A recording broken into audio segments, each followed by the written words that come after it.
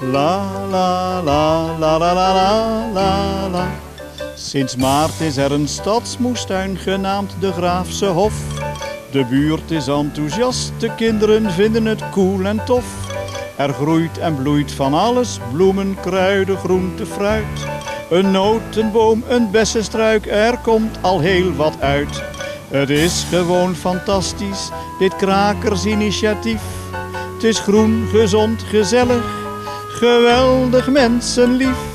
Bij Bostion, bij Bostion wordt kleurrijk weer gegeven. Wat wij in stad en dorp zoal vandaag de dag beleven.